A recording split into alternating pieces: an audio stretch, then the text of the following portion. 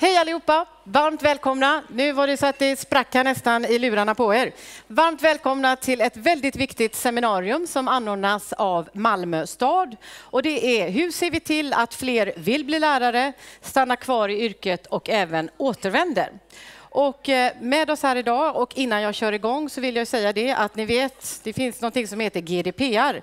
Så att det kan hända att ni som sitter där i lokalen antingen kan eh, spelas in, fotograferas eller någonting annat. Är det någon som känner att det är inte jag med på, då kan ni gå utanför lokalen och titta på hela eventet som streamas på Öresundshusets Facebook-sida. Okej, okay.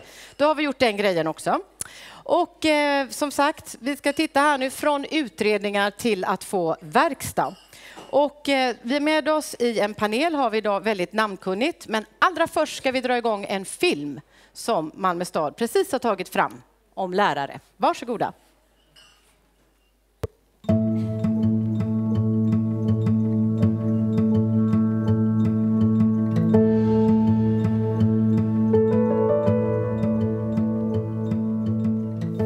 Som första förskollärare har jag fått ett helt nytt perspektiv på verksamheten. Idag är jag nära barnen, men jag har också möjlighet att ta del av forskning och utveckla förskolan framåt. Innan jag fick denna tjänsten var jag på väg bort från förskolan, men med de nya karriärtjänsterna kan jag se mig själv i förskolan resten av mitt yrkesliv. På vår skola har vi något som kallas för elevkoordinatorer. De ser till så att vi lärare kan fokusera mer på den pedagogiska verksamheten när det gäller till exempel att planera undervisningen, att bedriva undervisningen och att bedöma undervisningen samt ge oss tid till ett kollegialt lärande. De fungerar också som ett socialt stöd för eleverna eh, till eventuella incidenter som kan ha hänt kanske under rasten, att de konflikterna inte följer med in i klassrummet. Vilket då såklart leder till en förbättrad studiero för eleverna.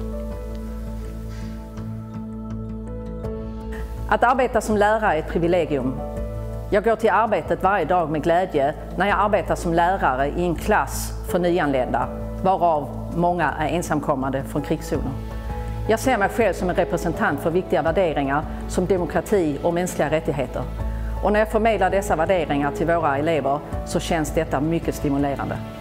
Jag kan faktiskt inte tänka mig ett bättre arbete.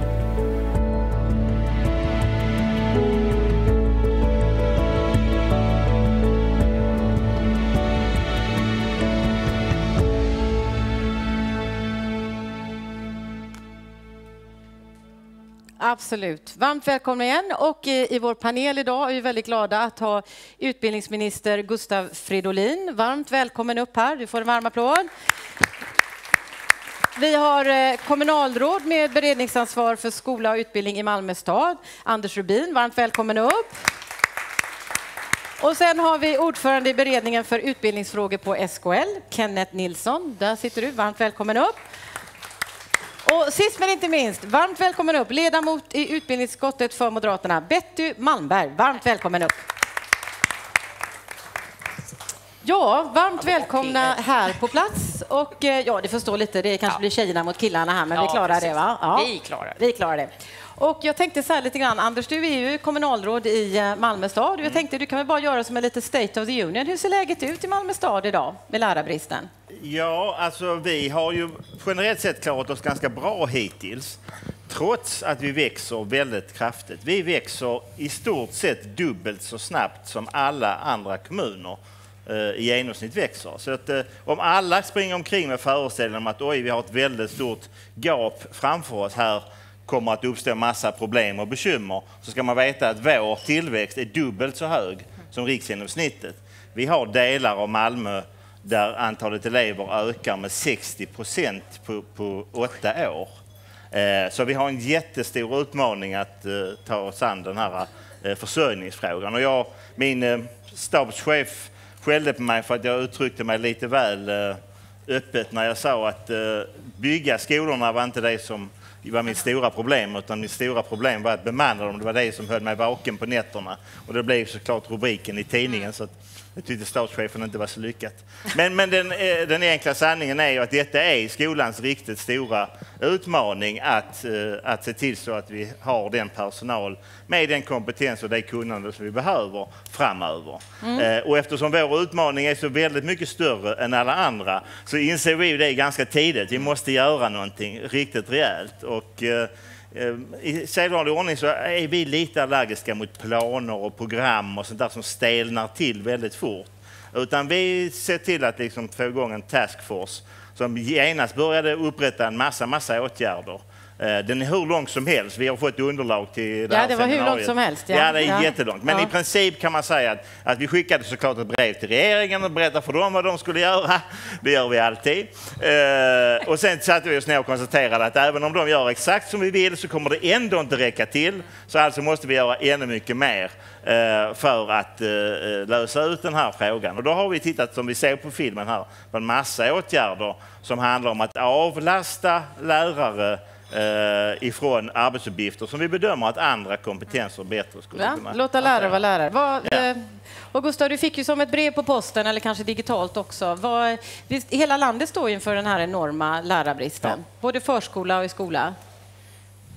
Ja. ja. Och då tänkte jag, vad var svaret på brevet helt enkelt? Vad, vad, gör vi åt den här lärarbristen och vad har ni gjort hittills? Nej, men det är precis som, som Anders säger. Vi ser ju nu att vi gör det, det som är självklart att göra i den här situationen, alltså bygger ut lärarutbildningarna i den omfattning som lärosätena kan hålla kvalitet i utbildningarna, förbättra villkoren för att hitta olika vägar att läsa, nya vägar in i läraryrket. Vi har gjort en del investeringar som vi kan se har effekt på de här helt avgörande trenderna att Eh, vi kan examinera fler lärare, att fler lärare stannar i yrket än tidigare också, att fler som faktiskt gjort andra saker återvänder till yrket. De är ju helt, helt avgörande. Men så är det precis som Anders säger, att även när vi gör allt det så har vi byggt upp för den här lärarbristen under så lång tid eh, och den är så pass driven av en snabb befolkningsutveckling så vi måste säkra att man också använder lärarresursen rätt. Eh, och det är ju en av anledningarna till att jag uppskattar Malmös arbete så mycket. Vi kan säkert hitta detaljer där man liksom har stora diskussioner, men att man försöker ändra också den kultur som finns runt läraryrket. För Vad är den kulturen då som ska ändras? Nej, men alltså, samtidigt som vi har en stor lärarbrist så kan du ju följa de allra flesta lärares arbetsvardag i landet och upptäcka att de gör en lång rad arbetsuppgifter som du faktiskt inte behöver vara legitimerad lärare för att göra. Och ska det ändras så handlar det inte bara om planer och program. Sådana kan vara viktiga och jag tror att det professionsprogram som nu utvecklas och när vi har det på plats kommer att göra mycket för, för, för att förändra den här kulturen. Men i grunden handlar det just om kultur. Ja. Och det måste vara väldigt hands-on och drivet på just den här skolan. Jag brukar ta exemplet med föräldrakontakter, för det blir så tydligt. Vissa föräldrakontakter är såklart helt avgörande för den pedagogiska utvecklingen för en elev. Andra föräldrakontakter är det inte. På vissa skolor handlar det om för att mer eller mindre skydda lärarna från en mängd föräldrakontakter. På andra skolor handlar det om att hjälpa lärarna med uppsökande verksamhet gentemot föräldrarna. Det måste man definiera på just den skolan utifrån den skolans problem och utmaningar. Men man måste göra det jobbet. Man kan inte tänka sig att vi ska klara lärarbristen samtidigt som läraryrket ska fortsätta se ut som det har gjort. Ett på många sätt allt i allo-yrke i skolan. Det håller inte. Nej. Jag tänkte så här, eh, Kenneth, du jobbar ju på SKL med de här beredningsfrågorna som ska ta ska säga, ett övergripande plan. Vad har hänt de senaste åren och vad ser ni framför er? Hur, hur, hur matchar vi det här? Ja, Normalt sett är jag kommunstyrelsens ordförande i Örebro. Att vara beredningsordförande i SKL innebär ju att jag försöker företräda tillsammans med Anders och andra kommunpolitiker eh, kommunsektorn i utbildningsfrågor, svara upp mot statens arbete som, när det kommer remisser och när utredningar är på gång och så vidare. Så det, det är vad utbildningsberedningen i SKL gör. Men en framtidsbild är ju ungefär så här. Fram till 2027 så kommer vi ha 350 000 ytterligare elever i skolsystemet från förskola till gymnasium jämfört med idag. 350 000 till. Det innebär att vi behöver ungefär 750 nya förskolor bara inom fyra år. Vi behöver 350 grundskolor bara inom fyra år och 30 gymnasieskolor. Det betyder alltså att oavsett om Malmö skulle lyckas rekrytera varenda ny lärare och lösa problemet där så finns det ett skolsverige som är väldigt, väldigt hårt ansatt av den expansionen. Eh, 80 000 förskollärare eh, och lärare eh, behövs det under de närmsta fem åren. 80 000 nya individer som ska jobba i skolan inom de närmsta fem åren. Det betyder att under de senaste fyra till fem åren så hade vi behövt examinera ungefär 15 000 till fler lärare per år för att vi skulle ha en rimlig chans att säga att nu är vi i balans vad gäller kompetensförsörjningen i skolsystemet. Det har vi inte gjort. Det betyder att vi går in i ett, i ett läge där obalansen är väldigt, väldigt tydlig. Och då finns det ju bara ett sätt att göra det på om vi tror att lärarna faktiskt har något avgörande inflytande i klassrummet. Det är att se till att man kan vara där så mycket som möjligt och göra så lite som möjligt av sånt som inte har med, med eh, lärarnas grunduppgifter att göra. Och Men Kenneth, det- när ni räknar på det, räcker det ändå, även om alla bara skulle göra exakt det som vi säger, räcker det bara med det här kompletterande? Alltså motfrågan är ju eh, om eh, andra resonemang, vad leder de till? De leder ju egentligen bara till att man ger upp på förhand. Faktum är att det måste ju räcka så långt som möjligt och sen måste vi nog acceptera under de kommande åren att det finns många lärare runt om i landet som inte är examinerade lärare. Nej. Det, det tror jag man måste acceptera. Och sen, det SKL ska göra, det är ju att eh, jobba med att visa andra kommuner vad har Malmö gjort som har lyckats. I lilla Lidköping vid Vänerns strand så har man samlat ett partsgemensamt grupp av eh, duktiga, kloka människor som går igenom skolans arbete tillsammans. Alltså facken och lärarna, politikerna går igenom tillsammans. Hur skapar vi bästa möjliga förutsättningar i vår kommun? Det kanske passar det arbetssättet i andra kommuner också. Då är det SKLs jobb och uppgift att se till att den typen av exempel sprider sig. Ja, för nu är många bra ifrån Malmö, du har ju läst det här Ja, underlaget. men det finns många bra kloka exempel från Malmö, men det finns i andra kommuner också. Och en sak är alldeles eh, tydlig, att Ragunda hjälps inte av storstädernas arbete, de hjälps av andra små kommuners arbete.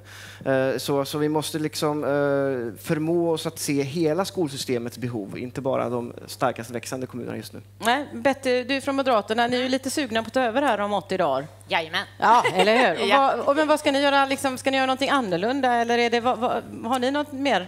Nej, men om jag bara får eh, börja med att och liksom plocka upp. Eh, det här är ju en som jag har lagt undan för mig själv, eh, som handlar om Skånes utmaningar kring lärarförsörjningen. Som, det här är väl ett av de steg som många kommuner eller regioner bara har hoppat över. Därför att man har inte insett att det här faktiskt var en uppgift också för oss i Eh, respektive kommun eller region. Och det tycker jag är ett viktigt strategidokument som man faktiskt tog sig an i Skåne. Eh, I övrigt så är det ju liksom, vi sitter ju i samma båt och i samma land, eh, vi som styrande regering. Och det vi ser också, det ju handlar ju om attraktionskraft och det handlar om att frigöra tiden för lärarna. Eh, och eh, en sak som kanske inte har nämnts här, det handlar ju faktiskt också om teknikutvecklingen, där vi vill gå längre än vad, vad regeringen har gjort hittills. Därför att eh, själv kommer jag från en liten kommun, Ödeshög. Vi har ingen chans att bemanna överallt med legitimerade lärare och att i det läget faktiskt kunna använda sig av fjärrundervisning som en metod eh, bland andra för att eh, möjliggöra att de här eleverna får den utbildningen av en legitimerad lärare, men med behörig lärare på plats, tror vi kan vara ett sätt att gå vidare. Vi tror också mycket på det här med eh, de kortare kurserna, att plocka över folk ifrån eh, andra utbildningar som kan gå de här eh, eh, korta pedagogiska utbildningsvägarna så att de på snabbare tid kan läsa in behörigheten till utbildningarna. Där vill vi satsa mycket och också då på andra lösningar som Teach for Sweden. Men sen är ju Almedalen Almedalen och det är ju det som är så häftigt. För där man också bemöter då andra sätt att jobba. Och Dalarna är ju också ett sånt här utmärkt exempel som har hittat nya metoder. Där har man satt sig ner, alla kommuner och några kommuner runt omkring. Eh, och man har satt, tagit med högskolan och börjat jobba med det de kallar arbetsintegrerat lärande. Där studenter som börjar eh, på, på högskolan i Dalarna också jobbar ute i verksamhet parallellt. Och den vägen då alltså både får lön under tiden och, eh, och samtidigt pluggar. Och de här är ju då, kan ju hjälpa studenter och elever på vägen. Eh, och det här har gjort att söktrycket för de här utbildningarna är fem gånger högre än vad de är till de vanliga utbildningarna på lärarutbildningen. Med de praktiska inslagen hela Med tiden. de praktiska inslagen och då får de dessutom upp både kvalitet men också får bemannat ute i skolorna. Och det har också haft en positiv effekt menar man på där man också såg att lärarna kollegorna på de skolor där man är ute och praktiserar också får en skjuts av detta därför att de inspireras av den nya kunskapen som finns på lärosätena och kan ta del av det och också använda sig av det i sin utbildning. Så Mm, någonting- det har en liten positiv win-win effekt och det Ja. tror jag också är ett gott exempel att sprida. Ja, jag tänkte så här, om vi tar några saker som verkligen är, ska vi säga, som vi behöver prioritera. Vi, vi pratade innan om eh, kompletterande kompetenser. Är ni beredda att ta fram ska säga, någon nationell viljeriktning? För det känns ju lite, det kan se väldigt olika ut i landet. Där hade vi elevkoordinatorer bland annat. Är det någonting ni har diskuterat? Ja, det pågår ju nu ett par utbildningar både på folkhögskola och yrkeshögskola till att bli lärarassistent. Eh, det, det man då konstaterar som är viktigt att ha med sig och som jag lite var inne på när jag hade exempel föräldrakontakter, det är ju att det jobbet innebär väldigt olika kompetenser beroende på i vilken Eh, kontext, vilken huvudman och vilken skola jag väljer att jobba på. Men det är bra att ha någon slags grundläggande utbildning och det gör vi inom folkhögskolan och yrkeshögskolans eh, ram. Eh, en del av de som läser detta ska ju, där ska ju utbildningen konstrueras på ett sådant sätt att det är rimligt att man senare väljer att studera till att bli lärare. Så ser det ut i, om man tar den finska skolan till exempel, där det finns en tradition av lärarassistenter, även om de inte heller fullt ut brukar använda det ordet. Men där finns då många som är verksamma i skolan eh, som stödjer lärarna och som senare väljer att utbilda sig till att bli lärare. Och det vore en mycket bra liksom, karriärutveckling i Sverige. Och det är lite därför jag återkommer till den här frågan om, om professionsprogram, alltså att tydligare ändå definiera hur en lärarbana ska se ut och olika vägar in i lärarbanan. Det skulle vara bra för attraktiviteten i yrket, för att eh, få fler som har olika vägar in i yrket. Men också en tredje sak som knyter an till det Kenneth säger. Ja, vi har obehöriga lärare. Det har vi haft under lång tid. Antingen till, antingen till att definiera problemet i den här storleken är ju att vi ställer de kvalitetskrav som vi gör idag och inte alltid har gjort. Nämligen att man ska möta behöriga lärare. Det är därför vi ser problemet i hela dess omfattning. Det fanns en lång tid där vi inte ens såg det, men det fanns många obehöriga lärare ute. Ja, jag Då behöver vi kunna styra den resursen. Det är det som blir så viktigt. Det blir viktigt att vi kan styra den resursen så att vi har våra behöriga lärare på de skolor där skolan Ja. spelar allra störst roll för elevernas framtid. Alltså där eleverna inte kommer med samma förutsättningar till skolan. Det har man svårt att göra som huvudman idag. Man har inte riktigt de musklerna och då behöver vi se till att huvudmännen får de musklerna. Men är man beredd att ändra? För jag tänker väldigt mycket har varit att de läroplaner och annat har gjort att man har lagt på väldigt mycket extra uppgifter på lärarna och nu står alla med en röst och säger nu ska vi ta bort väldigt många av de här ska vi säga, olika rollerna som man har lagt på lärare. Är ni beredda att gå så långt att vi ändrar läroplanen också eller? Ja, Betty? Jag tror inte det viktiga är att vi ska lägga tid och kraft och energi på det just nu. Det är så många utmaningar som finns i alla fall. Och då handlar det om att vi måste banne med försöka få bort mycket av den administrativa problem som lärarna upplever och lägga tid på där resurserna behövs som bäst. Det tror jag är det viktigaste nu. Eh, därför att det, många, på många ställen så kommer man runt problemen. Därför att man eh, liksom ser vad är vad är det vi faktiskt behöver Som för fokusera Anders då, på? nöden är uppfinningarnas moder, för vi ser ju en Ja. lång lista med olika lösningar. Ja. Har du någon favorit av dem? Jag tycker att eh, faktiskt är förskolan tycker jag har varit intressant att Mm. studera hur de har gått an sig. För bland annat har man ju upptäckt då att, att man har haft så otrolig fokusering på att alla ska vara förskollärare och alla andra grupper har liksom hanterats som, ja, som övrigt Mm. ungefär. Va? Eh, och där har man istället börjat att verkligen tydligt avgränsa vem, vem har planeringstid, skrivit ett kollektivavtal så att förskollärarna har eh, planeringsansvar och också utrymme för att göra det.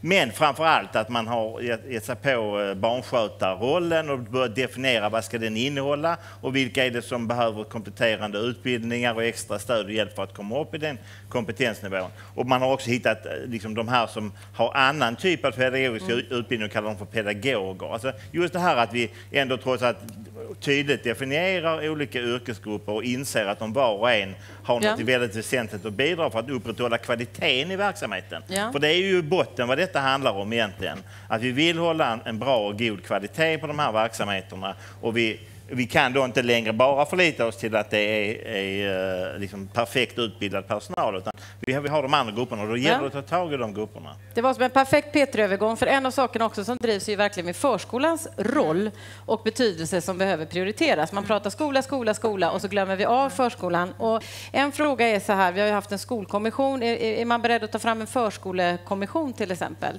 Arbetet med förskolorna, att det prioriteras bättre? Ja, då ska man väl ändå komma ihåg liksom bakgrunden både till, till Skolkommissionen. Det handlade ju om att vi hade under lång tid sett försvagade resultat och ökad ojämlikhet i skolan. Eh, alltså, det behövdes till stora och behövs stora reformer som säkrar att vi eh, fortsätter nu gå mot ökade kunskaper. När det gäller förskolan så har vi en av världens bästa förskolesystem, så när man gör insatser där ska man göra det utifrån rätt problembeskrivning. Här har vi en problembeskrivning med att klart ojämlikheten i samhället också speglar sig i förskolan och vi har den stora rekryteringsfrågan. Eh, en sak vi gör nu är ju att vi reviderar förskolans läroplan och då gör vi ju det på ett sådant sätt, precis som Anders beskriver, där vi kan stödja huvudmännen i deras uppdrag att tydligare definiera uppdrag mellan förskollärare och barnskötare. Lämnar idén att barnskötare så att säga är något övergående fenomen i förskolan som det nästan har låtit som ibland och till och med från vissa huvudmän har låtit som, till att se att förskollärare och barnskötare kompletterar varandra och har en oerhört viktig uppgift för barnens utveckling i förskolan och skriver mm. läroplanen för att den ska stödja just det jobbet. Och så stärker vi också ledarskapet genom att göra förskolans ja. chefer till rektorer. Mm. Betty? Ja, jag skulle komplettera med det, för att jag tycker det görs faktiskt åtgärder här och det är ju bland annat det att vi höjer nivån på, på eller ja, benämningen på, på ledaren på eh, förskolan. Men också, precis som vi såg i introduktionsfilmen här, att det finns första karriärtjänster hos förskollärare. Det här är ju en symbol, eh, ja, en, en symbolik i att vi absolut sätter samma värde till förskolan. För det är ju där vi faktiskt kan göra skillnad. Det visar all forskning. Ja. Så varför har vi inte prioriterat det då? Det är en annan femma. Nej, men det är absolut, det är en hemläxa att göra. Det ja. håller jag med om. Men vi har faktiskt drivit på de här frågorna och vi har faktiskt på något ställe också skjutit regeringen framför oss för att få till stånd de här förändringarna. Toppen. Kenneth, du viftade innan. Nej, men jag började som kommunpolitiker 2011 då eh, hade vi diskussioner hemma i min hemkommun Örebro med lärarfacken eh, om balansen mellan eh, förskolepedagoger och barnskötare. Idag handlar diskussionen om ifall det finns någon enda jäkla vuxen i Örebro eh, utan kriminellt förflutet som kan tänka sig jobba i förskolan. Och det är alltså, så snabbt går ju förändringen. Så snabbt ökar behovet i en kommun som växer väldigt, väldigt snabbt. Eh, och det innebär ju att när när den här eh, känslan av att en stark förändring är på gång och att det ska skapa innovationer, då är det väldigt mycket dags nu. Det är dags nu för den typen av innovationer.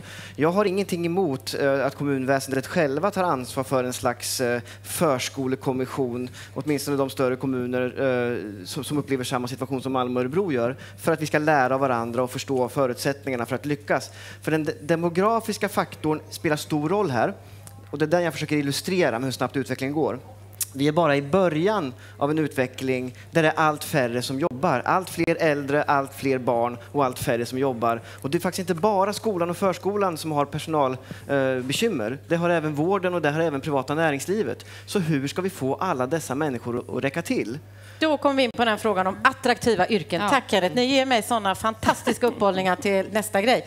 För det var, frågan var ju här då att vi dels eh, ska rekrytera, vi pratar om att behålla och även kanske få folk att återvända. Det här är ju en klassisk fråga. Hur skapar vi attraktiva yrken? Och ni får inte lov att säga höja statusen, för det säger Nej. alla. Mm. Så att vi, vi liksom, hur ska vi göra om vi inte bara pratar om höja status? Utan vad, vad, ska vi göra rent konkret? Hur får vi de här yrkena att bli mer attraktiva? Ni som sitter i de här positionerna, hur, vad kan vi göra? Vad säger du, Anders? Jag tror så här att eh, om man ska trivas på sin arbetsplats så måste man känna att på den här arbetsplatsen jobbar vi strukturerat, eh, vi tar hand om varandra, vi jobbar framtidsinriktat, vi ser konsekvenserna av vad vi jobbar med. Och det är ju den utvecklingen som, som vi som huvudmän har jobbat väldigt hårt med, nästan alla har gjort det. Och jag är helt övertygad om att, att eh, de allra flesta som är i skolverksamheten är väldigt positiva till ja. den verksamhet de är i. Det visar ju alla undersökningar. Så att, alltså, det tror jag nog på något sätt är liksom grundgrejen, att vi inser att Det är inte de där yttre quick fixen som är grejen, utan få en fungerande verksamhet, tolerera inte när det inte fungerar, agera när, när man ser att något inte, något inte fungerar. Ha tydliga signalsystem som gör att du också vet när det fungerar och när det inte fungerar eh, och vidta åtgärder. Får du in den positivt så tror jag, jag är övertygad om att det är den bästa åtgärden för att eh, behålla personal eh, i verksamheten. Sen har, sen, har, eh, sen har alla de här åtgärderna förstelärare och så vidare haft ganska stor betydelse för möjligheten att, att hålla igång en sorts känsla av att man kan utvecklas i jobbet och att man kan ta nästa steg och att man inte måste ta det nästa steg utanför skolverksamheten. Nej, att det är möjligt att göra karriär. Gustav? Nej, men, och, och, en viktig sak i det är såklart att ha rätt beskrivning av vad skolan är, och ja. både av problemens omfattning men också allt det jobb som görs. Alltså det är ändå viktigt att komma ihåg. Vi har aldrig haft fler elever i skolan än vad vi har nu. Mm. Vi har ändå en jämn lärartäthet. Vi har högre personaltäthet än vi hade för bara några år sedan. Och vi har fler legitimerade lärare i systemet än vad vi någonsin har haft. Så man behöver ha den beskrivningen med sig för att kunna göra eller har självförtroendet att göra de insatser som behövs för att nu möta utmaningen. Och där tjatar jag ju lite om det här med professionsprogram, men det gör jag ju av en anledning. Det handlar om att bygga vidare på det jobb som gjorts i goda huvudmän, som både har sitt eget arbete och hur man har knutit ihop det arbetet med de statliga lönesatsningarna. Och säkra att det finns en tydlig utveckling för mig som lärare. Det handlar ju också om att använda de resurser vi lägger på löner, som är viktiga för statusen och attraktiviteten, rätt. Om alla de resurser liksom kanaliseras till konkurrensen om de sista lärarna som ska anställas, vilket ju leder till att man driver upp ingångslöner och nyanställningslöner och löner när du byter arbetsgivare, då står det sönder kontinuitet och vi får inte den här utvecklingen i yrket som behövs. Utan där måste det vara så att man som nyexad lärare vet att jag kommer tjäna mindre än en erfaren lärare. Det kommer inte vara jag som får en statlig lönesatsning i normalläget men alla kommer kunna utvecklas under lärarbanan ja, på ett tydligt och transparent sätt. Det är professionsprogrammets poäng. Och då är man ofta inne i systemet, det finns en attraktionskraft i det. Jag tänkte Kenneth, med SKL, jag menar olika lärarförbund har haft, allt börjar med en bra lärare. Vad kan SKL göra mer nationellt, som vi säger, för att få ut hur det är att vara lärare och göra det mer attraktivt? Vad kan vi göra mer? Ja, men SKL ska ha en väldigt konstruktiv och bra dialog med regeringen om förutsättningarna för yrkena som sådana, men också om förutsättningarna för hur man eh, skapar nya lärmiljöer. Då. Hur skapar man förutsättningar för fjärrundervisning, tekniska hjälpmedel och så vidare? Att den utvecklingen snabbas på lite grann nu när vi är i behov av innovation.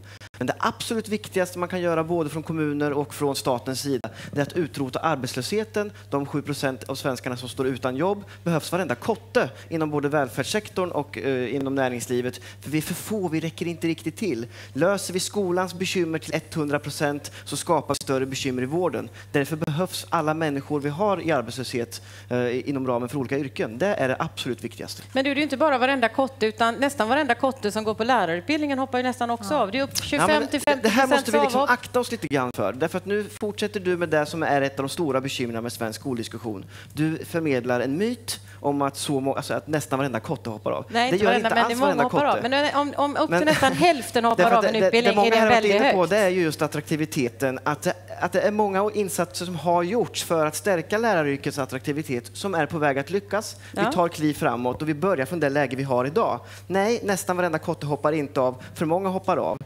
Eh, då måste vi jobba utifrån den, förutsättningen. Ja, absolut, men om vi nu säger de här mellan 25 och fjärde och upp till hälften hoppar av, vad kan vi göra där?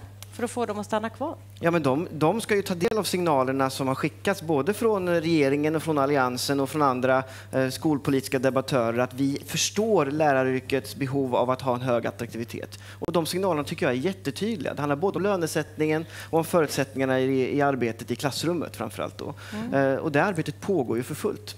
Mm, Okej, okay. Betty, kommentar? Eh, ja, eh, jag tycker nog att man får kalla en spade för en spade. Jag menar, vi har problem på högskolan och det är faktiskt just ämneslärarutbildningen som är en av de som har eh, värst problem.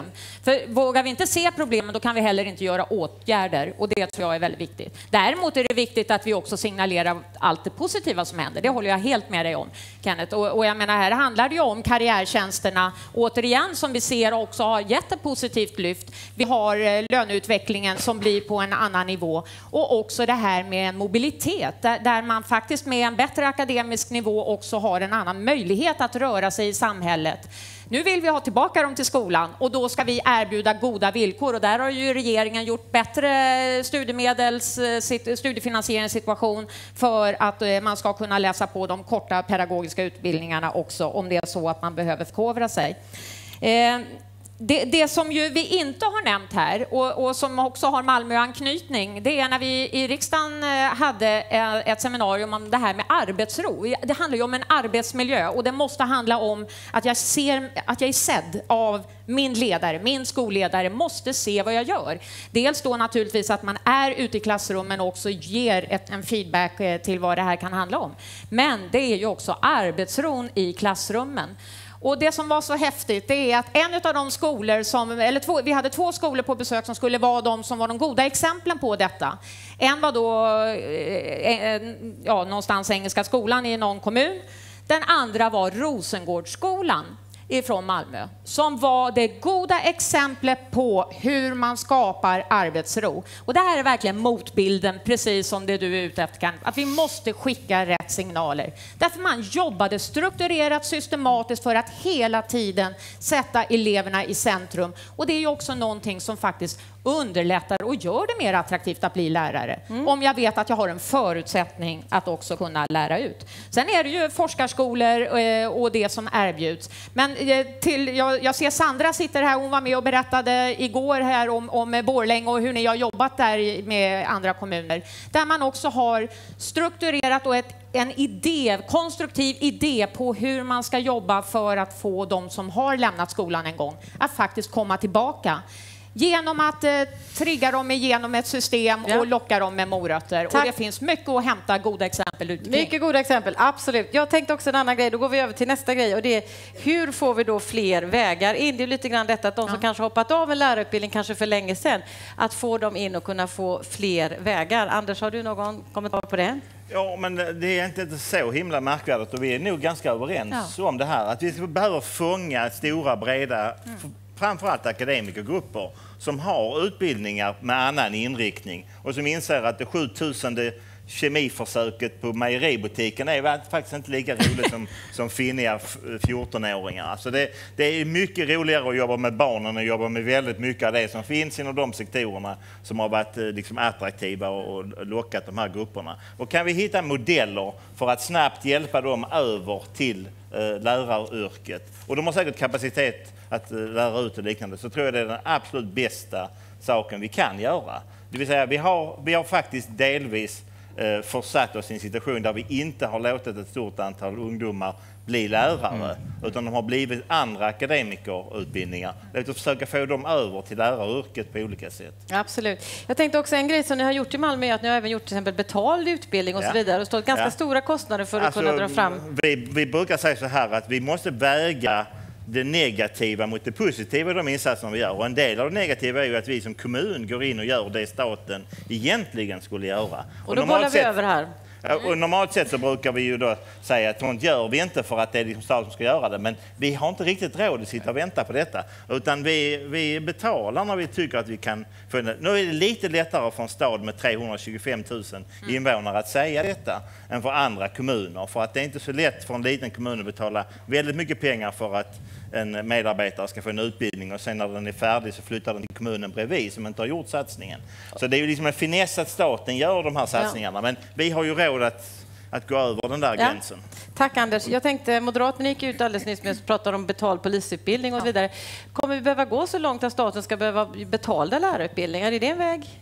Till vissa utbildningar för vissa grupper tror jag att det kommer behövas. Eh, sen Sen är det ju så att det här är ju det som sker på stora delar av arbetsmarknaden. Alltså den privata sektorn har det ju liksom aldrig uppfattats som märkligt att om jag har en, saknar en kompetens så ser jag minst lika mycket på vilken kompetens jag har och vem av dem som kan vidareutbildas som jag gör på att liksom hitta någon, någon annanstans och från någon annat företag. Och så kommer det funka i skolan också, inte minst när läraryrket blir mer komplicerat, har fler olika utgångar och det, det kommer på många sätt vara rimligt. Och det är precis som sägs här, staten behöver fortsätta göra mer, vi kommer behöva hitta olika vägar, komplettera till ämneslärarutbildningen tror jag att vi behöver titta på samma modeller när det gäller förskollärarutbildning, alltså att man får möjlighet när man då får en anställning som barnskötare att få både grundläggande utbildning för att jobba med barn och senare om man vill få möjlighet att vidareutbilda sig till att bli förskollärare. Eh, och att man gör det samtidigt som man arbetar på ett sätt som bibehåller den akademiska kvaliteten.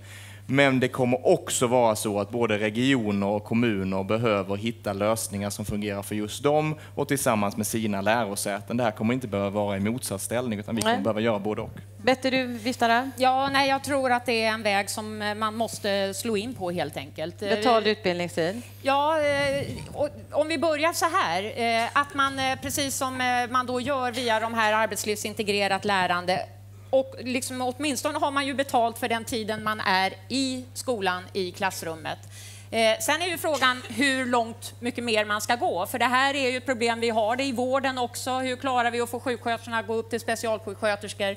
Eh, så att jag har ingen kostnadsbild på allt det här och det är ju viktigt. Men eh, det, vi får väl se. Ja, jag har hört någonstans kan man omvandla en del av statsbidragen. Vi är tämligen överens om att vi kan inte ha 7000 statsbidrag som ska administreras på respektive skolor. Kan man nyttja någon del av det till att göra något mer konstruktivt? Eh, Det här är en diskussion som man måste följa upp helt enkelt. Ja, det är en Sen- stor och bred... Ja. Och sen bara, det hänger ju ihop diskussionerna också, så man har det med sig. En av anledningarna till att vi diskuterar avhopp från lärarutbildningarna, det är ju att det varit en utbildning där en mycket stor del av de som går den är personer som valt, eh, valt den direkt efter gymnasiet. De utbildningarna har större avhopp. Och vi diskuterar ju aldrig, eh, det är liksom viktigt att med sig, vi diskuterar aldrig ingenjörsutbildningen på samma sätt, trots att vi ingenjörsutbildningar av motsvarande karaktär har lika mycket avhopp och lika låg intagning. Så ja, vi behöver göra mycket för att förstärka kvaliteten i lärarutbildning, för att ha tidig VFU, för att kunna koppla till arbetsplatsförlagt lärande. Men det är viktigt att vi gör det och för den diskussionen utan att vi missar vad, vad lärarutbildningens problem är och också klara av jämförelse med andra. För om vi upprepar bilden av att lärarutbildningarna är dåliga och att vem som helst kommer in på lärarutbildningen så reproducerar vi den på ett sånt sätt att vi till slut kanske har den som verklighet. Tack, Kenneth. Ja, Jag tänker att en sak som är jätteviktig också, i den skolpolitiska debatten så finns det ju ganska starka krafter, du känner dem bättre än vad jag gör, som säger att vi ska lägga ner ett antal lärarutbildningar runt om i landet. Det skulle omöjliggöra exemplet Dalarna. Om man jobbade på det sättet, och jag utgår från att varken en eh, rödgrön regering, eller en alliansregering eller en blocköverskridande regering kommer driva den frågan. Lösningen ligger ju i att bygga utifrån läget vi har och vi behöver fler lärare, därför behöver vi alla dessa utbildningsplatser. Och sen får vi jobba som Dalarna eller som andra kommuner eller ver- regioner gör för att hitta attraktiviteten att man ska gå utbildningarna. Inte ta bort utbildningsplatser, det är faktiskt helt kokobängo att göra det just nu. Kokobengo, över till icke Kokobengo. Vad säger du, Betty? Nej, men eh, ja, jag, jag håller väl med dig i princip, det gör jag ju. Men, men samtidigt så måste vi ha ögonen på att med det låga söktryck som har varit och är så, så blir också kvaliteten lidande. Det, det är bara ett faktum som så ser ut. Och där kanske vi måste hitta andra vägar för att faktiskt vi behöver öka söktrycket och det förtar inte att det behöver man göra på civilingenjörsutbildningarna också. Vi behöver ha in fler. Vi behöver fler akademiker i samhället Ja. överhuvudtaget. Men det var Okej. något annat väldigt klokt jag skulle säga, men det har jag glömt bort. Ja, ja. Det, så kan det vara. Nu börjar det hela lida mot sitt slut. Om vi bara tar en kort replik. Och du skulle vara, om du skulle vara utbildningsminister efter valet, och det kan vi vet ju inte ännu, Gustav, så om du fortsätter. Om, vad, vad är den största prioriteringen? Eh, Få professionsprogrammet på plats. Det spelar väldigt stor roll för både vägarna in i lärarutbildningen, vägarna för den som blivit anställd och attraktiviteten i yrket. Att och till tillbaka. det att styra lärarresursen. Idag har vi lägst behörighet på de skolor där vi borde ha högst behörighet och det innebär att vi måste ge nya verktyg för huvudmän att faktiskt kunna styra lärarresursen bättre än vad man gör idag. Och då behöver vi någon slags gemensamt definierad av vad är en erfaren lärare, vad är en särskilt meriterad lärare. Det, det, Ja. det har man i bra, hos bra huvudmän, men det saknas i systemet som helhet idag. Man, men, ni är ju en bra huvudman också. Vad, vad skulle du göra om du nu fick steppa upp här och bli utbildningsminister? Om jag skulle bli utbildningsminister? Herregud. Inte bara i Malmö. Nej.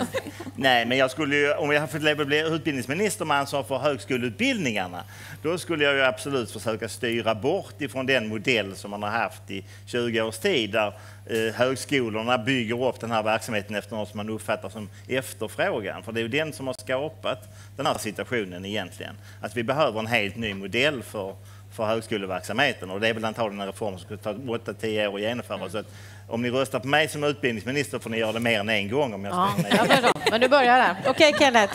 Vad säger du då? Problemet är. Nej, men, eh, jag, om jag var utbildningsminister för en dag så skulle jag försöka att eh, skapa en förståelse för att skoldebatten per idag handlar väldigt mycket om stuprörsfrågor. Det handlar om eh, marknadsdelarna i skolan, det handlar om hur vi sorterar barnen i skolan och så handlar det om massa, massa sådana specialfrågor då, där de olika politiska partierna faktiskt upplever sig som förlorare om man inte får som man vill. Ska man lösa flera av de här frågorna så måste man lösa dem tillsammans så att man kan få både politiska vinnare och politiska förlorare. De senaste 20 årens skoldebatt visar att det är det enda sättet att komma framåt.